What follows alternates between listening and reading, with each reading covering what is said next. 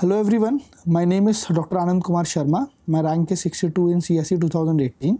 In this video, we'll be covering chapter 7 that is India's demography at 2040, planning public good provision for the 21st century. So this chapter is talking about the slowdown in the population growth of the country how it is impacting the various states, how it is going to impact the provisions of the country, of the labor force, the TFR, the health climate, or the public good provisions, how they are going to impact it, and how do we need to prepare it. So it's about the trajectory of the population growth and how we need to prepare for the population growth trajectory in the future. So it says India is set to witness a slow, sharp slowdown in the population growth although the country is going to enjoy the demographic dividend but states like south himachal pradesh west bengal had have their tfr below the replacement level whereas the states like uh, madhya pradesh jharkhand uttar pradesh rajasthan are above the replacement level but they will also be experiencing a significant decline. It talks about that the national tfr is going to be below replacement level by 2021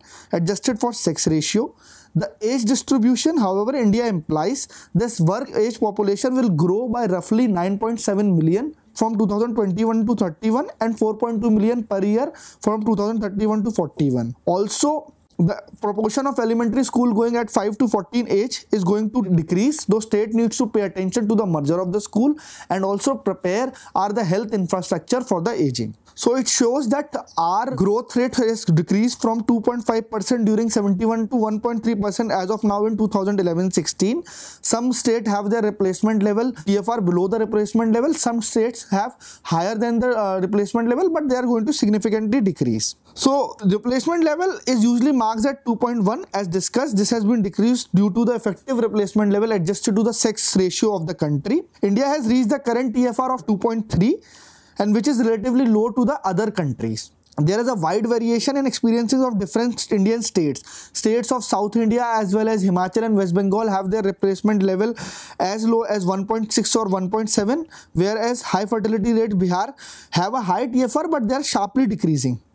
So this development suggests that India is going to enter a new stage of demographic transition which is along with the demographic dividend. So this we need to prepare for it. So they are preparing for it and hence there need to be make provisions in the policy for old age care for school facilities retirement public pension income tax revenue retirement age all these needs to be adjusted to prepare for this demographic transition now we are talking about the national and the state level population projection.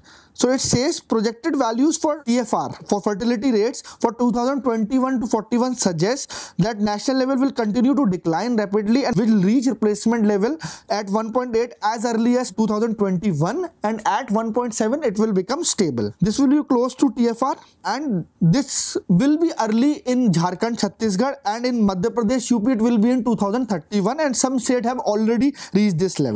So this will have an impact on this assumption and this TFR assumption is based on the sex ratio adjusted because the number of women uh, are less than the number of men.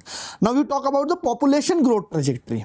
Population growth trajectory it talks about the population growth. It shows that population growth will continue to slow rapidly over the next two decades growing less than 1% during 2021-31 and, and under 0.5% during 2031 to 41 which shows that there is a sharp decline in the population growth of the country which is the current trend seen currently in Germany and the France. So since there is a given a state level differences in the TFR replacement level and the growth rate declaration there is going to be a significant changes in the impact of this policy on this stage so this is we need to prepare for this impact. There is going to be a change in the age composition as well.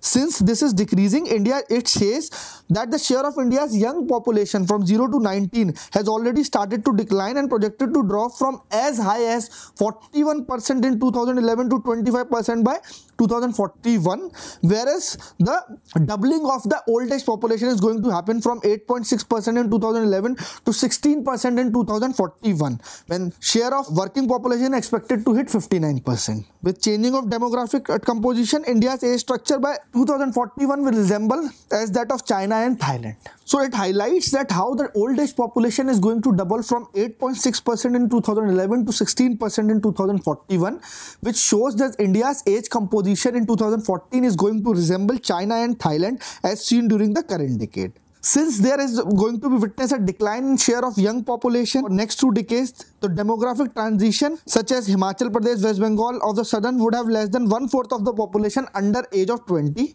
but one-fifth or more population over the age of 59. Similarly, in the states like Bihar, Chhattisgarh, MP and Rajasthan, this population is going to share of young population, although will remain relatively high as large as 30% in Bihar by 2041. So all this demographic transition, this is going to have a various implications. Now we'll study about those implications.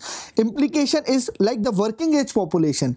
Working age population will start to decline in 11 out of the 22 major states. The labor force ratio that 9.71 million per year is going to rise in 2021 to 31 and from 31 to 41 it's going to be 4.2 million per during year. The labor force will be added. The working age population will start to decline in the states of southern states punjab maharashtra. On the other hand working age population will continue to rise through 2040 in states lagging behind in demographic transition that is MP, UP, Bihar. So rising population could meet. Now there is going to be a migration from those states where the demographic transition is yet to happen and where which has already happened. So the people will migrate from states like UP, Bihar to all these southern states because there is going to be a deficit and there is going to be an excess. So this will be met by the excess will meet the deficit which is there in the other states. There are many elementary schools. Since the 5 to 14 population is going to decline and there are schools so there is a need. The population is going to decline so the government needs to instead of opening school need to consolidate and merge the school to increase the quality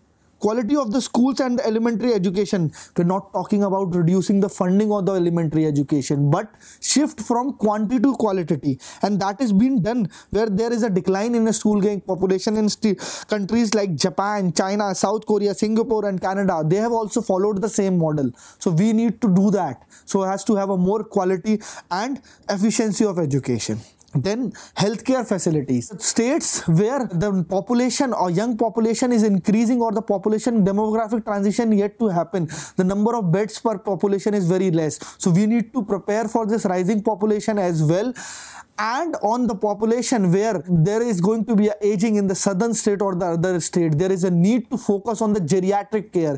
Geriatric care means infrastructure and the facilities for the old age people. The diseases are affecting these people. We need to prepare for that also. Further it talks about the retirement age. Since india's healthy life expectancy at the age of 60 that has been increasing over the period for both men and men. It is 12.9 years average. That is 12.5 years for male and 13.3 years for female. So due to aging population and increasing on the pension funding many countries have been raising their retirement ages such as germany france and usa australia. They have increased their retirement age. So india also need to since a life expectancy for both male and female at 60 is increasing india also also needs to increase their retirement age. This will be key to the viability of the pension system, help increase labor force participation in older age group and hence perhaps a decade before the anticipated shift. This will help in plan for advanced pension and other retirement provisions. Basically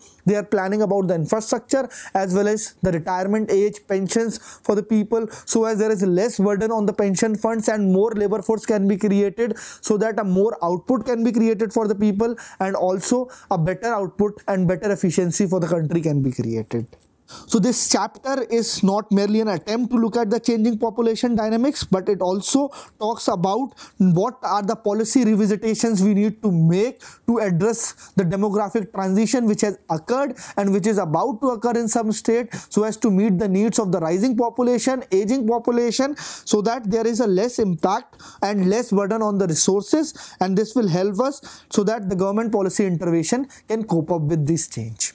Now we'll summarize the chapter. India is set to witness a sharp slowdown in population growth in next two decades. All the country as a whole will enjoy the demographic state. Some state will start transition to an aging state by the 2030s. A surprising fact that is population bracket in 0 to 19 age bracket has already peaked due to sharp decline in TFR across the country. The national TFR is expected to blow replacement rate by 2021. Working age population will grow by roughly 9.7 million per year in 2021 to 31 and 4.2 million per year in 2031 to 41. The proportion of elementary school going education that to 5 to 14 children is going to decline. So there is a need to shift toward consolidation and merger of the schools to have a better quality and efficiency of the elementary education.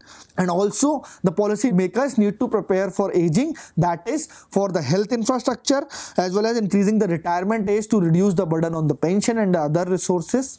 This way, this chapter talks about the changing population dynamics and how to cope up with what policy interventions we need to make to get prepared for this change and so there is a less burden and also the government is well prepared for that. Thank you. Subscribe to our channel and click on the bell icon to get latest updates on upcoming videos.